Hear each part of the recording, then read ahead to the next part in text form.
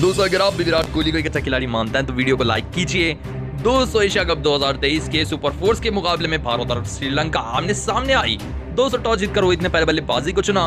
दोस्तों पहले बल्लेबाजी करते हुए भारतीय टीम की शुरुआत उतनी कुछ ज़्यादा बेहतरीन नहीं रही जहाँ इनके पहले लाइन बल्लेबाज शुभमन गिल उन्नीस रन बनाकर इस तरीके से बोल्ड हो गए थे तो उनके बाद बल्लेबाजी करने आए थे विराट कोहली।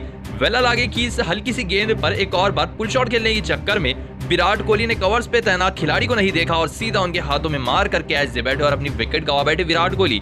दो सौ पिछले मुकाबले में शतक लगा चुके थे विराट कोहली। इसीलिए श्रीलंका के खिलाड़ियों ने उन्हें स्लेज करने की कोशिश की, यानी कि उनके ऊपर हंसने की कोशिश की कुछ इस तरीके से।